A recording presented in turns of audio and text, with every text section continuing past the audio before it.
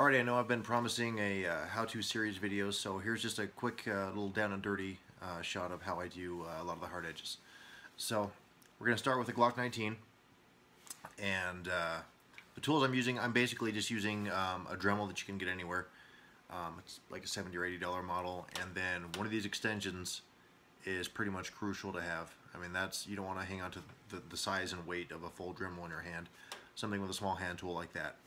So the other thing you'll notice is uh, the bits here, and I, I doubt it'll focus. Um, the bits I'm using are actually uh, Dennis bits, but I know you can uh, get some, some similar ones from Dremel. I think they're model number 108, but it's an inverted cone, and that's what allows you to get in there and get a really uh, deep and clear-cut groove. It's not a ball, um, uh, and because those just don't cut sharp enough. They'll, they'll definitely cut a groove, but I like that really hard uh, level uh, ledge that that you get with the cone. So that's basically that. It's it's uh, cranked up to a high RPM. I've got a lamp right here in my lap. I'm usually reclined back just because uh, maintaining a posture that you can sit at for hours helps. I don't want to be leaning over a, a desk or a bench, so you're always going to see me um, kicking back in a, in a chair or a couch similar to this. So let's get to it and uh, show you how it's done.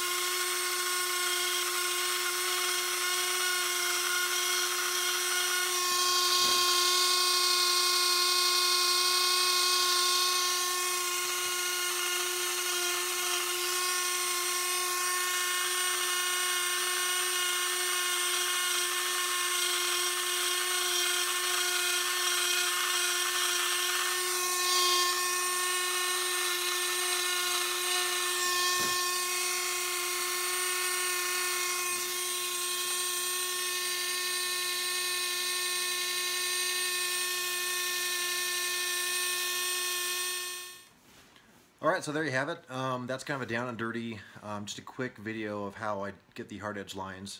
Um, I'm not saying that's the way that everyone does it. That's the way that I have found works for me.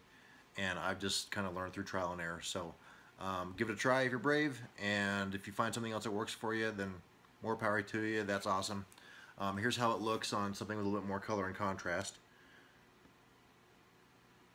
So that's that's how I've done all those little fine edges, all the little details in there. They've they've all been hand carved out, and uh, and that's how I do it. So hope you liked the video. Hope you learned something from it, and be sure to give me a follow on Instagram or subscribe to the channel here, and uh, stay tuned for updates. Thanks a lot.